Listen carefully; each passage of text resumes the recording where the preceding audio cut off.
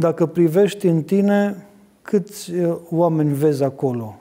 Îi simți acolo? Cât simți că ai în interiorul tău? Câți sfinți din cei pe care îi cinstești, îi ai și în inima ta, ai și o simțire față de ei. Omul este bogat numai începe să se îmbogățească numai în momentul în care a introdus ceva în inima sa. Și mă refer să ai o simțire față de Dumnezeu, nu doar o înțelegere. Să ai o simțire față de tot ce ține de Dumnezeu, de slujbe, de post, de pravilă, de... să ai o simțire față de persoane, să ai o simțire față de locuri. Adică să introduci un loc, un loc în inima ta, să fii atașat sufletește de un loc.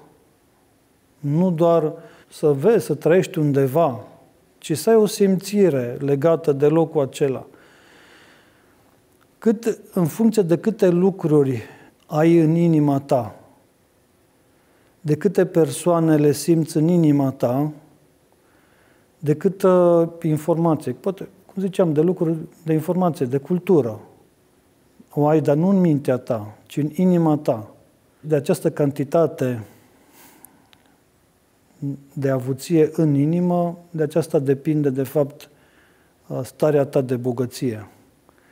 Când uh, ai înțeles lucrurile cu mintea, ele sunt cumva tot în afara ta. Când le-ai înțeles doar cu intelectul, cu rațiunea. Și ești sărac, pentru că lucrurile care le ai în intelect nu le porți de fapt în tine. Dacă privești în tine, câți oameni vezi acolo? îi simți acolo, cât simți că ai în interiorul tău, câți sfinți din cei pe care uh, îi cinstești, îi ai și în inima ta, ai și o simțire față de ei, ai o legătură uh, din inimă cu ei. Tot ce ai doar în afara ta și în înțelegerea ta rațională, nu ai în tine și de fapt tu ești încă sărac. Deci cantitatea de lucruri care au ajuns în inimă dau măsura bogăției cuiva. De fapt, omul nu trebuie să coboare doar uh, mintea în inimă ca să ajungă la rugăciunea lui Isus. Cel trebuie să coboare toată viața lui în inimă. Și atunci se îmbogățește cu, cu viața lui. Și lucruri simple, lucruri banale, lucruri comune, o melodie, o cântare, cum ziceam, un loc, locul în care trăiești, dacă nu-l porți în inimă, n-ai nicio relație cu locul acela, n-ai nicio legătură.